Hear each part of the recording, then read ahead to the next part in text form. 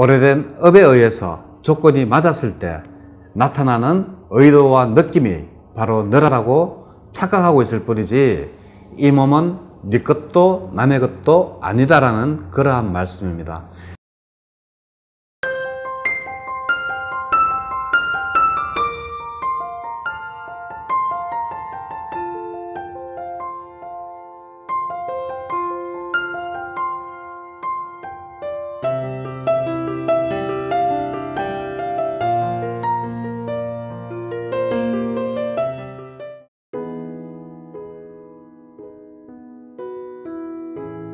안녕하십니까? 마음치유 행복도량 대구 구룡사주지 도일입니다. 아, 오늘은 누가 유인의 속에 맴돌며 경험하는가라는 주제를 가지고 한번 말씀을 드려보도록 하겠습니다. 상류단 니까야 12-35번 무명을 조건으로 한 경을 보면 이러한 이야기가 있습니다. 한 비구가 세존에게 다가와 세존이시여 어떤 것이 늙음과 죽음이며 누구에게 이 늙음과 죽음이 있습니까? 라고 말씀을 하십니다. 그러니까 부처님께서는 어떠한 말씀을 하시는가 하면 바로 이러한 말씀을 하십니다. 비구여, 그것은 타당한 질문이 아니다. 생명이 바로 몸이다라거나 생명과 몸이 다르다라는 견해를 가지고 있으면 청정한 범행을 닦을 수가 없다라고 말씀을 하십니다. 그러시면서 양극단에 의지하지 않고 열에는 중도에 의지한다.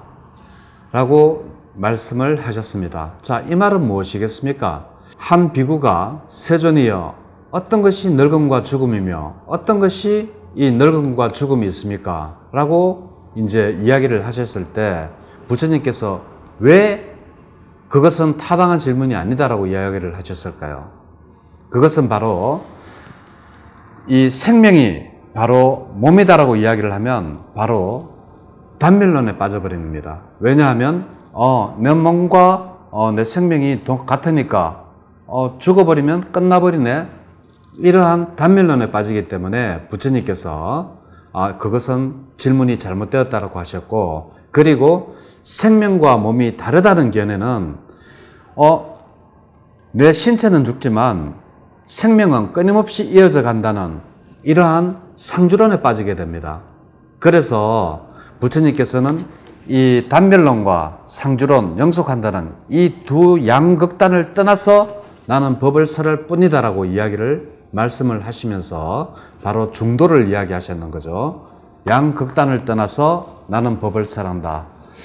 즉, 어, 다시 이야기하면 어, 생명을 자, 즉 영혼이라고 이야기를 한다면 자, 자아와 신체를 동일시하면 극단적인 허무주의에 빠지게 되겠죠. 말이 좀 어렵나요? 어, 즉 다시 말해서 영혼과 신체를 동일시하면 예? 그래서 바로 생명이 몸이다라고 하면 바로 너무 허무하게 어, 단멸론에 빠지게 됩니다. 그죠? 그리고 자아와 신체가 다르다라고 하면 자아는 끊임없이 영속하기 때문에 바로 상주론자가 되어서 해탈을 할 수가 없다라는 게 바로 부처님의 바로 양극단을 피하라는 말입니다. 그러시면서 부처님이 어 바로 이어서 이런 말씀을 하십니다. 부처님은 바로 삼사화합에 대해서 말씀을 하십니다.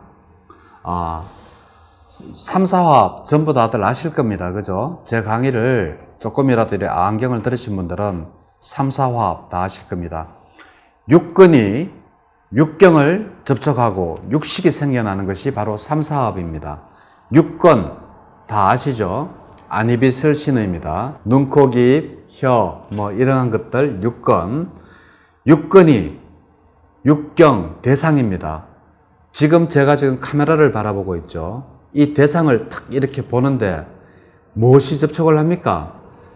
육건이 육경 대상을 바로 접촉하는 거죠. 그죠? 이렇게 접촉하여 일어나는 것이 뭐라 그랬습니까? 육식이 생겨난다 그랬죠. 그죠? 아, 저게 카메라라고 아는 그러한 육식이 생겨나는 겁니다. 그래서 이 생겨난 아름아리를 조건으로 해가지고 정신과 물질, 즉 사람이 있고 의도적인 행위로 인해서 이것을 조건으로 인해서 아르마리가 있다라고 했습니다. 즉 다시 쉽게 조금 더 풀어서 이야기를 하면 바로 육건이 육경 대상 눈이 어떠한 카메라를 접촉을 해서 아 카메라라고 아는 아르마리가 생겨나고 이 아르마리를 즉 정신과 물질 사람이라고 사람들이 착각을 하고 있다라는 겁니다.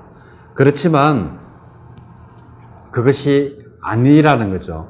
그래서 어, 비구가 그러한 질문을 했을 때 예를 들면 어, 부처님 어떠한 것이 늙음이고 어떠한 것이 죽음이며 누구에게 이 늙음과 죽음이 어, 따라옵니까? 라고 이야기했을 때 부처님께서는 그것은 잘못된 질문이다라고 말씀을 하시게 된 것입니다.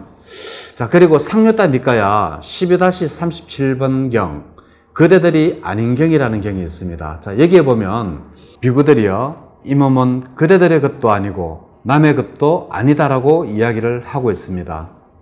그러면서 부처님께서는 어떠한 말씀을 하시는가 하면 바로 오래된 업이라는 조건에 의해서 생겨난 이 몸은 조건에 의해서 형성되어진 것이고 의도가 토대가 되는 것이고 또 느낌의 토대가 되는 것이다라고 잘 보아야 한다라고 부처님께서 말씀을 하셨습니다. 그대들 것이 아닌 경 바로 이 몸이 바로 나의 것도 아니고 남의 것도 아니라는 것입니다.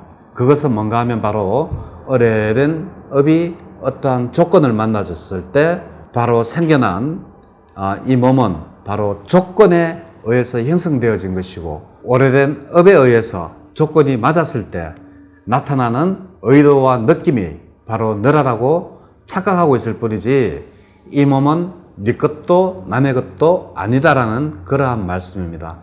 그러시면서도 부처님께서는 연기법을 설하십니다.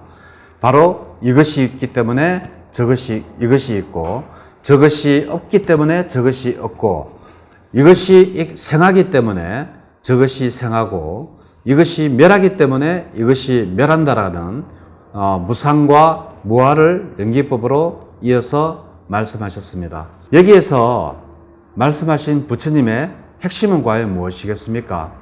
늙음, 죽음 이 둘은 연기로 인해서 생겨날 뿐이고 연기로 인해서 죽어날 뿐이지 늙음과 죽음에는 실체가 없다라는 것입니다.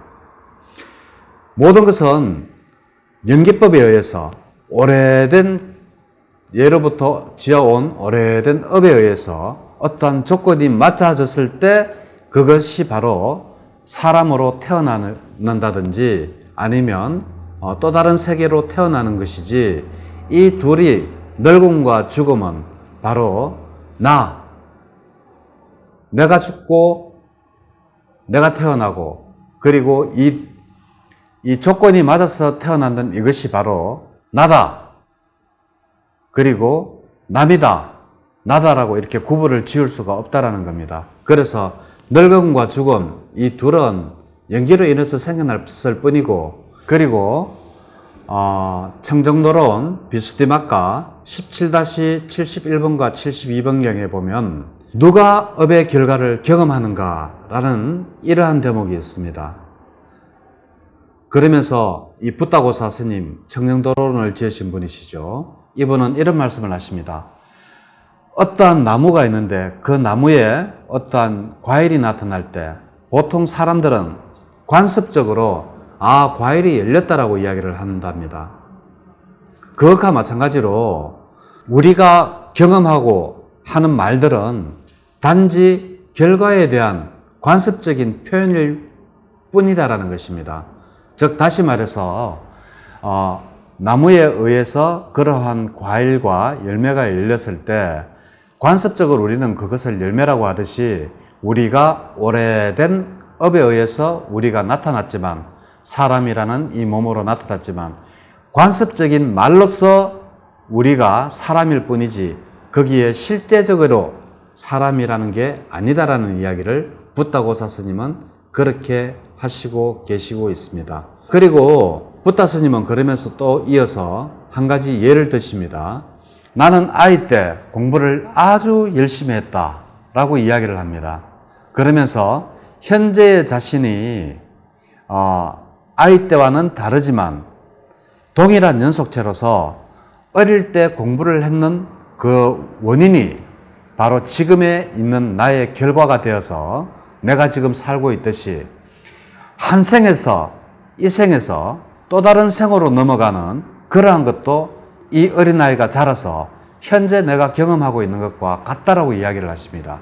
이 말은 뭔가 하면 이 생에서 내가 하고 있는 모든 한 이러한 행위, 행동들이 다음 내 생을 이끄는 그러한 결과를 가져온다라는 이야기가 되겠습니다. 어, 사람이라고 느끼는 이러한 업, 우리가 지었는 업, 이러한 것들은 동일한 연속체이기 때문에 지금 나는 전생에 나의 업을 경험하고 있고 그리고 지금 내가 하고 있는 이러한 모든 행위들은 미래에 내가 경험해야 될 그러한 것들이 바로 되겠습니다. 어, 결론적으로 말하면 누가 윤회 속에서 맴들며 경험하는가 하는 것은 바로 오랜 세월 동안 지은 업이 바로 윤회를 하는 것이며 어, 그곳에는 바로 나, 자 이러한 것들이 바로 없다라는 것입니다. 단지 업과 그리고 연기에 의해서 일어남과 사라짐만이 존재할 뿐이지 그곳에는 바로 나라든지 자아라든지 그리고 주인공이라든지 뭐 이러한 것들은 없다라는 것이 바로 오늘의 결론이 되겠습니다. 그래서 과연 누가 윤회 속에 맴돌며 누가 윤회를 경험하는가? 바로 정답은 우리의 업이 되겠습니다. 업은 바로 우리의 내가 지었기 때문에 바로 동일한 연속체로서 지금 내가 하는 행위가 내 생의 결과로 나타나며 과거에 내가 지었는 업이 지금 현생의 업의 결과로서 사람의 형상으로서 실제는 존재하지 않지만 어, 실제한다라고 생각하고 살아가면서 윤회를 경험하고 있는 것입니다. 오늘은 여기까지 아, 하도록 하겠습니다. 네, 감사합니다.